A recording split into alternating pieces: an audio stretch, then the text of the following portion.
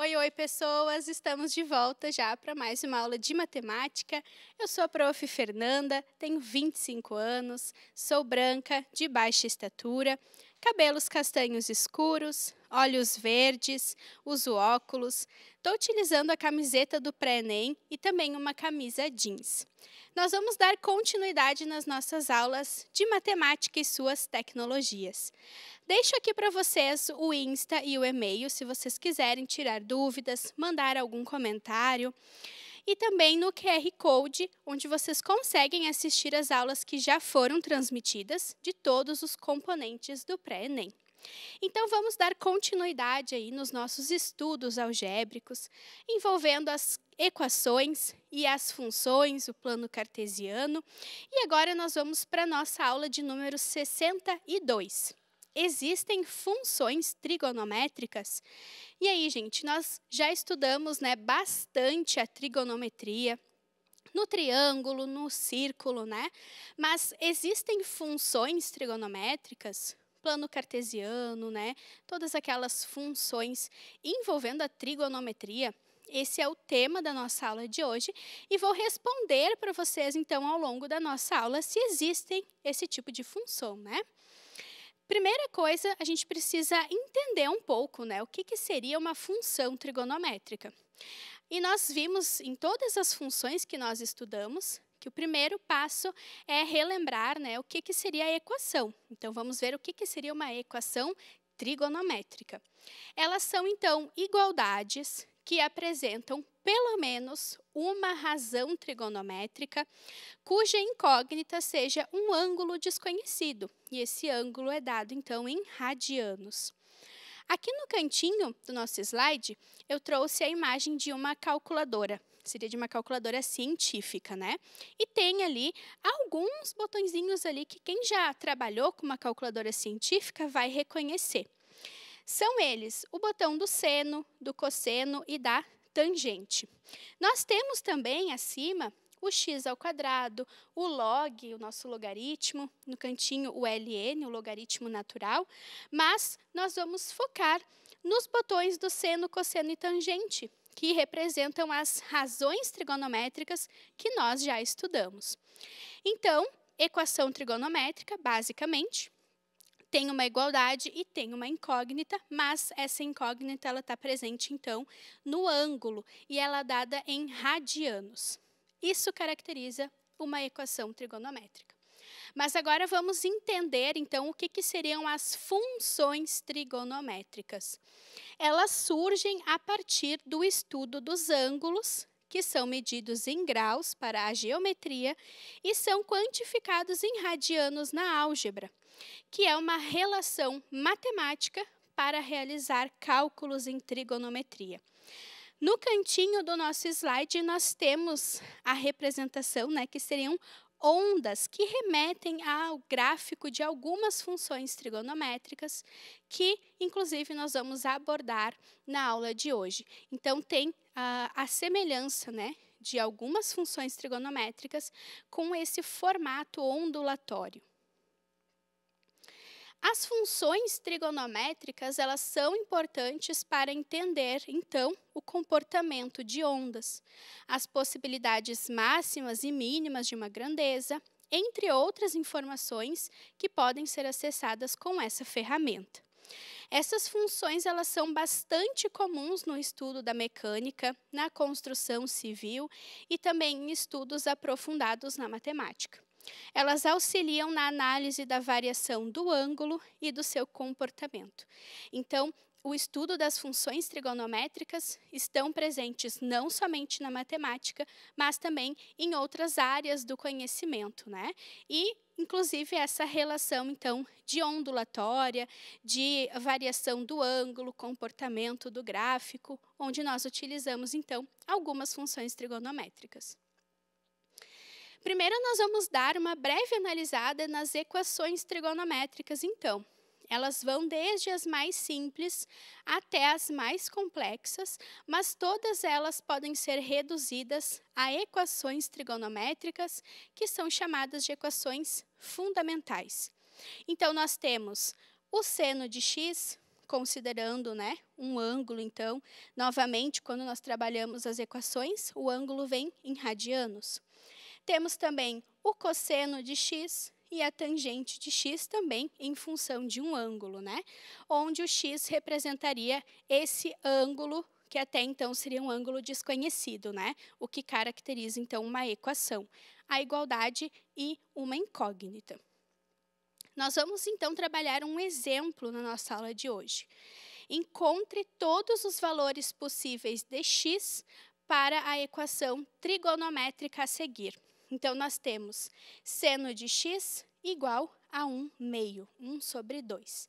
Então, nós vamos buscar descobrir todos os valores possíveis para x, o nosso ângulo que está ali indeterminado. Primeira coisa que nós vamos fazer, conferir a nossa tabela de ângulos notáveis. Seriam os ângulos de 30, 45 e 60 graus nós podemos concluir que um dos valores possíveis para x é o de 30 graus. Por que, que nós utilizamos a tabela dos ângulos notáveis? Porque nessa tabela nós temos todos os valores, né, seno, cosseno e tangente, para os ângulos de 30, 45 e 60 graus, mas todos eles em fração, no formato fracionário.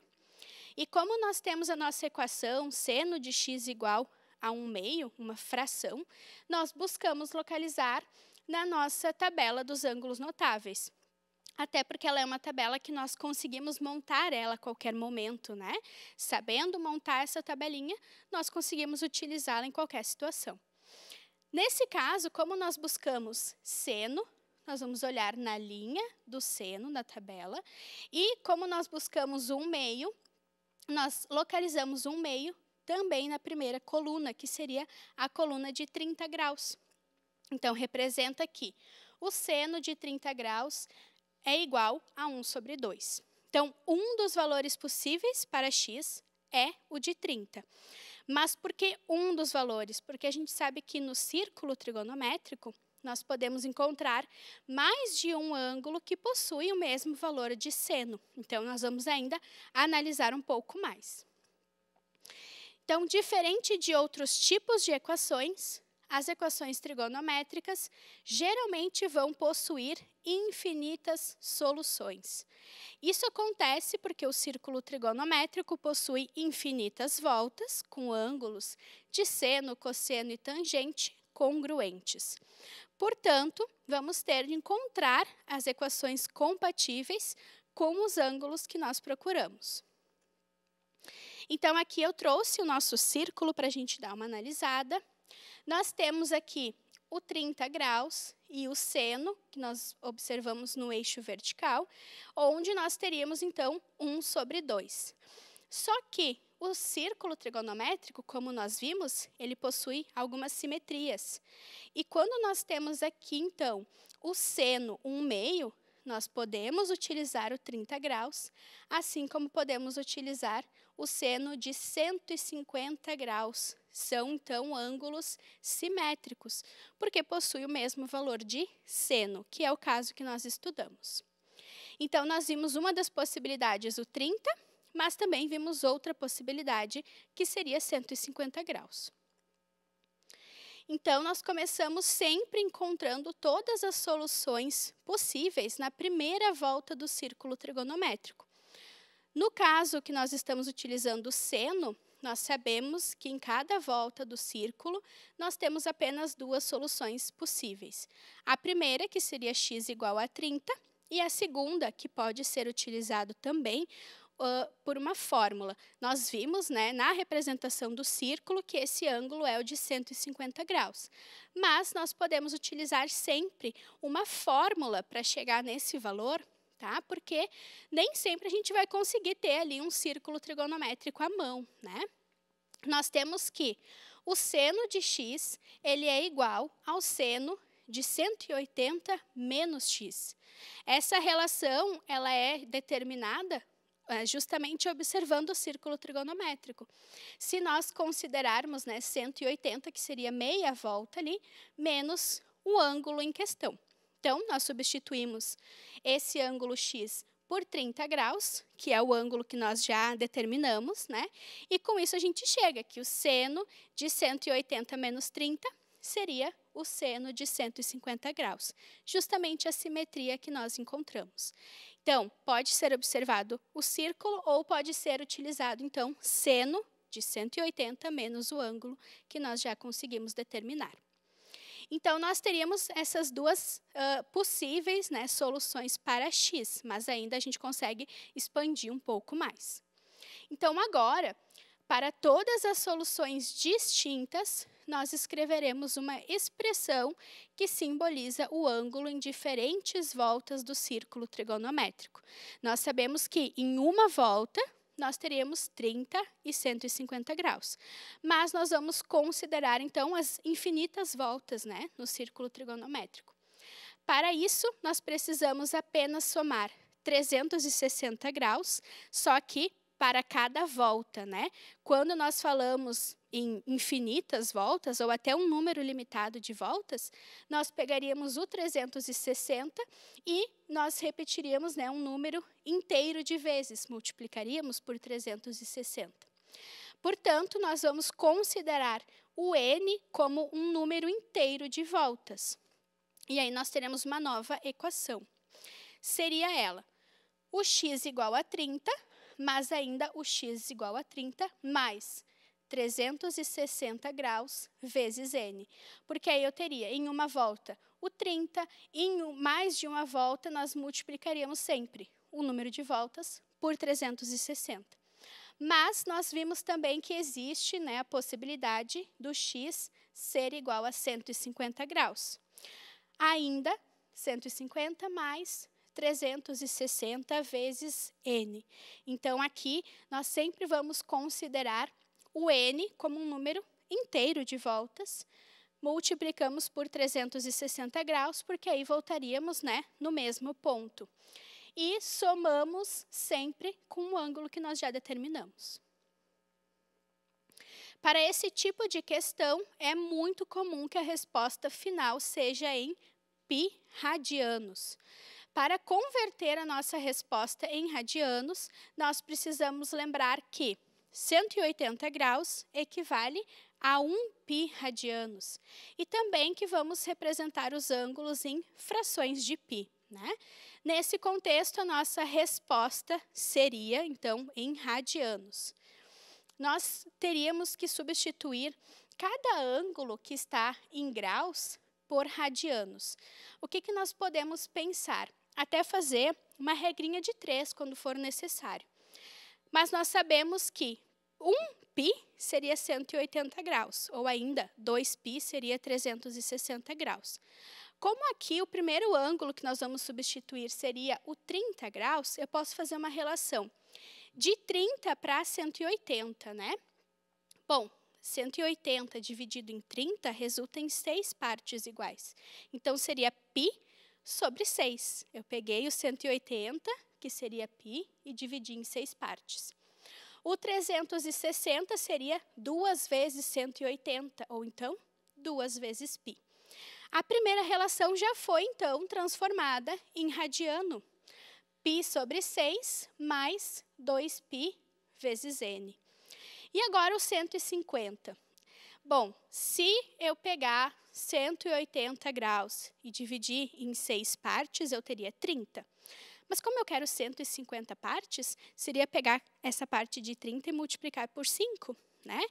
Como nós vimos que 30 é π sobre 6, então 150 seria 5 vezes o π sobre 6. E aí nós podemos chegar em outra fração, 5π sobre 6 radianos. Ah, mas eu não consegui entender dessa forma. Eu acho mais fácil fazer a regra de três. Não tem problema, gente. Sempre nós vamos chegar no mesmo resultado, né? Pode fazer a regrinha de três. 180 está para pi, assim como 150 está para o valor desconhecido, né? E aí chegaríamos também em 5π sobre 6, bem tranquilamente. E novamente os 360 nós vamos substituir por 2π. Então, nós teríamos duas equações para chegar nessas infinitas soluções, né? π sobre 6 mais 2π vezes n, E a segunda equação, 5π sobre 6 mais 2π vezes n.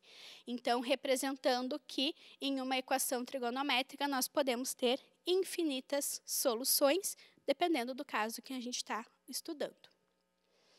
Agora sim, nós podemos então partir para a próxima, né? Como que nós calculamos uma função trigonométrica?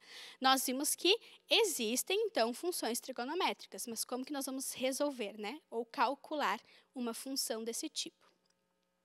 Então aqui, basicamente, nós conhecemos como função trigonométrica toda função que possui domínio e contradomínio no conjunto dos números reais e que a lei de formação possui uma razão trigonométrica em função de um ângulo x. As principais funções trigonométricas são, então, de seno, cosseno e tangente. Por isso que, na imagem lá da calculadora, destaquei que nós utilizaríamos né, as três razões trigonométricas, seno, cosseno e tangente. Nós vamos conhecer, então, uh, um pouquinho de cada uma, ver cada característica, tá? Primeira função, então, que nós vamos ver é a função seno. Nós chamamos de função seno uma função que ela é definida com uh, domínio e contradomínio nos números reais, e que a lei de formação é representada, então, f de x igual a seno de x, sendo x ainda né, o nosso ângulo em radianos. Com o estudo do ciclo trigonométrico, nós sabemos que a razão trigonométrica seno possui o valor máximo de 1 e o valor mínimo menos 1. Porque no círculo nós utilizamos sempre né, uma circunferência de raio 1, o seno nós vimos no eixo vertical. Então, o valor máximo é 1 e o valor mínimo menos 1. Então, nós conseguimos até determinar a imagem da função seno. Ela vai estar no intervalo de menos 1 até 1 positivo, né? intervalo fechado. Aqui nós temos a representação gráfica, então nós temos esse formato de ondas, né? A nossa função seno, né, seguindo a lei de formação seno de x, seno de um ângulo, a função seno ela sempre vai cruzar a origem do nosso plano cartesiano. Então, é, essa relação vem até se nós imaginarmos, né? Seno de zero é zero, então ela vai cortar a imagem. Nós temos períodos, então, em que a função é crescente, outros períodos a função é decrescente, né? Justamente por esse formato aí ondulatório. O sinal da função seno, ela acompanha o sinal que o seno tem lá no nosso ciclo trigonométrico. Então, se o arco for do primeiro ou do segundo quadrante, a função seno vai ser positiva, então nos dois quadrantes, né, acima do eixo x. E se ela pertencer ao terceiro ou quatro, quarto quadrante, vai ser negativa. Então estaria, né, abaixo do nosso eixo x. Essa relação aqui dos sinais nós já estudamos, né, lá quando nós vimos as razões trigonométricas. Então permanece sendo a mesma relação dos sinais em cada um dos quadrantes. Nós temos ainda algumas características observando o próprio plano cartesiano. Nós conhecemos como período o menor intervalo em que acontece a repetição do gráfico. Nós podemos notar que a função seno ela é periódica, ou seja, o gráfico se repete a cada período. Então, nós temos essa questão aqui que a gente consegue analisar, que ela é uma função periódica, porque esse formato ondulatório ele vai se repetir. E nós chamamos de período né, o menor intervalo em que não ocorre essa repetição. No gráfico da função seno, a gente consegue observar, eu até destaquei aqui para a gente analisar, se analisarmos do zero, né, do x zero até o x igual a 2π, nós não encontramos repetição. Então, nós chamamos de período. No caso da função seno, então, o período é 2π. E nós temos ainda outra característica, a função seno, ela é considerada uma função ímpar. Então, se nós considerarmos seno de menos x é igual a menos seno de x. Se a gente realizar algumas substituições, a gente encontra essa igualdade. Por exemplo, seno de menos x. Então, a gente pode considerar o seno de menos π. O seno de menos π, nesse ponto aqui, ele é o zero, né? Agora, eu vou considerar menos seno de π. Então, menos seno de π, o seno de π também é zero, então teríamos essa igualdade, né? caracterizando a função seno como chamada de função ímpar. Agora nós vamos ver a função cosseno. Ela é bem semelhante com a função seno, então é importante a gente prestar bastante atenção nos detalhes que diferenciam uma da outra, tá? Então, nós chamamos ainda né, a função cosseno no contradomínio e domínio dos números reais, só que agora a lei de formação seria f de x igual a cosseno de x. Assim como a função seno, a função cosseno possui imagem nos números reais entre o menos 1 e o 1. No nosso ciclo trigonométrico, o cosseno fica no eixo do x, né, o eixo horizontal, que também vai de menos 1 até 1 positivo. Então, a imagem, intervalo fechado entre menos 1 e 1. Aqui nós temos o gráfico da função cosseno, também possui esse formato ondulatório, mas a principal diferença que a gente encontra né, com a função cosseno aqui é a, a questão de que o gráfico do seno passava sempre pela origem. E a função cosseno ela não passa pela origem, né, quando a gente observa a lei de formação uh, cosseno de x. Se nós considerarmos cosseno de zero, é 1. Então, ela vai passar né, por algum ponto que não seja a origem. Nesse caso aqui, a gente teria a nossa função cosseno tradicional, né, cosseno de x. O sinal da função também né, fica de acordo com os sinais no ciclo trigonométrico. A função cosseno, então, possui valores positivos para o primeiro e o quarto quadrante e valores negativos para segundo e terceiro quadrantes, tá? Mesma situação do ciclo tradicional lá quando estudamos, né, o que, que seria o cosseno. Ainda no gráfico a gente consegue observar essas uh, informações aí. A, o período, né, a função cosseno, ela também é uma função periódica, então, nós conseguimos observar a repetição no formato ali das ondas e também ela vai ter um período ali de 2π. Né? O menor intervalo que não ocorre essas repetições seria ali o período 2π. E a função cosseno, gente, ela é chamada de função par. Então, nós temos o seguinte, cosseno de x é igual ao cosseno de menos x.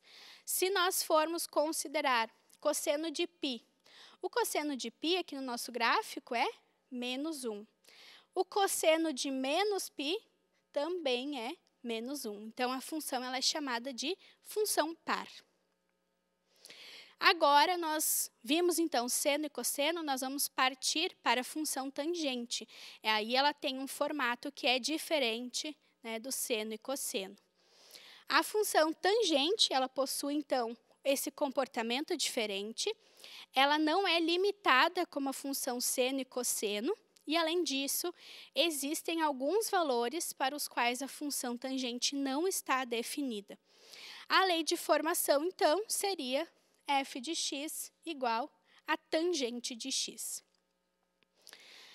A tangente ela é considerada também como a razão entre o seno e o cosseno. Então, para os valores em que o cosseno é zero, a função tangente ela não está definida, justamente porque nós não realizamos a divisão por zero. Os ângulos em que isso acontece são os ângulos de 90 e de 270 graus e qualquer ângulo múltiplo deles. Então, assim como nós vimos no exemplo da equação trigonométrica, a gente possui é, infinitas soluções, porque o ciclo ele possui infinitas voltas, né? Aqui, na função tangente, nós utilizamos bastante uh, essa questão. A função ela não é definida nem para 90 e para 270 graus na primeira volta, assim como em todas as outras voltas possíveis, ela também não vai ser definida. Então a gente diz que o x ele tem que ser diferente de π sobre 2, que seria o 90 graus, mais k vezes x, aquela constante que representa um número inteiro de voltas, né? A função tangente, então, ela possui um comportamento bem diferente, porque agora a imagem ela está contida nos reais, enquanto a função seno e cosseno, a imagem era um valor de menos 1 até 1.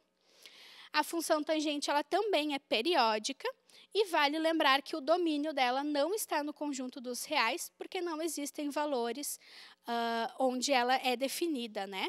como nós vimos anteriormente ali, no caso de 90 e 270 graus. Então, aqui nós temos o gráfico da função tangente, né? bem diferente do gráfico de seno e cosseno. Aqui nós observamos os valores onde ela não é definida. Por exemplo, o 90, né, ou menos 90, 180 e menos 180 e assim em diante. Nós dizemos que não é definida porque ela nunca vai chegar né, em um ponto. Ela vai se aproximar cada vez mais, mas nunca chega no ponto exato. E ainda nós temos os sinais, né?